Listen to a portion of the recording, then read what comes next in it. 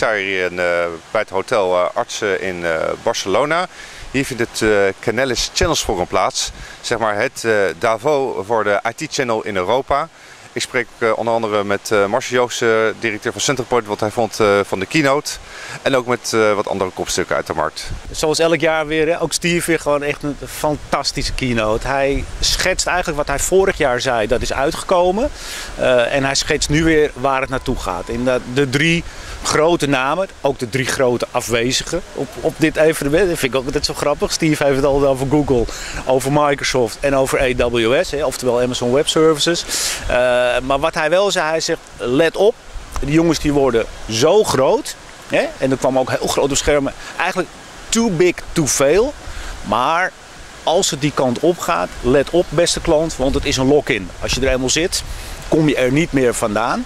Uh, in de keynote van Michael Dell, uh, die zei letterlijk, hè, als je puur kijkt naar uh, pricing, het is nog steeds goedkoper om gewoon je eigen spullen neer te zetten en dat te onderhouden. Hij gelijk geloof ik, een server bij mij kost 5000 euro. Als je die bij AWS gaat afnemen, betaal je over drie jaar 45.000 euro. Nou, dat zien wij natuurlijk ook als Centropoint zijn.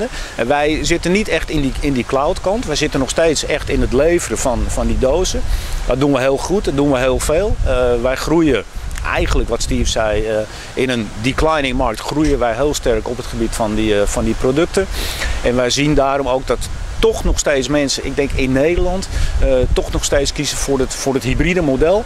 Eigen beheer, eigen onderzoek, maar wel scalability naar de cloud bij één van die drie grote partijen. En welke die dat dan gaat worden. Ik denk in Nederland dat we meer richting Azure gaan, omdat we toch een wat, wat Microsoft uh, uh, gebaseerd land zijn. Uh, AWS, ja, heeft natuurlijk een Nederlandse CTO in Werner Vogels, dus die, die timmert ook hard, hard aan de weg. dus ja, de, de, tijd zal het leren welke van de drie het gaat worden.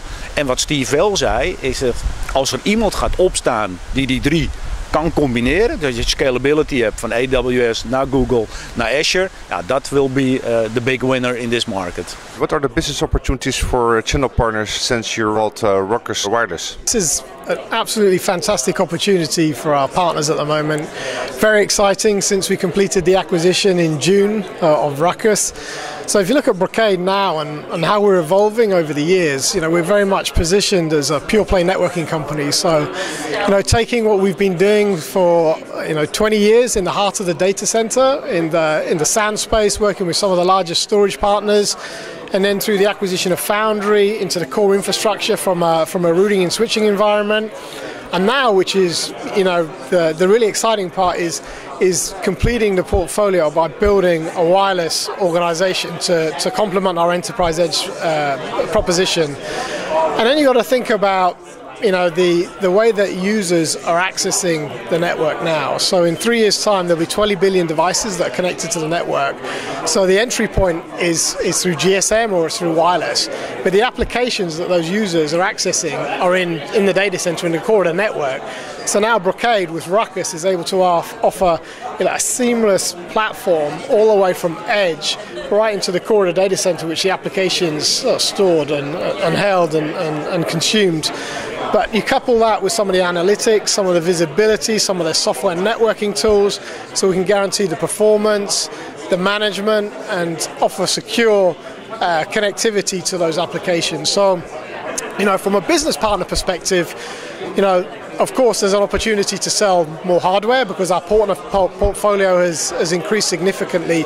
But there's a tremendous amount of services opportunity as they look to, to integrate all those um, technology solutions within the data center from a storage standpoint, from a management standpoint, from a software integration standpoint, coupled with some of the stuff that's going on with our ecosystem partners like VMware so this ecosystem continues to grow, so our partners are able to offer more complete solutions, ultimately uh, generate more stickiness with the customers, uh, higher margins, higher revenues, hopefully. So yeah, really exciting time for Brocade here at the moment.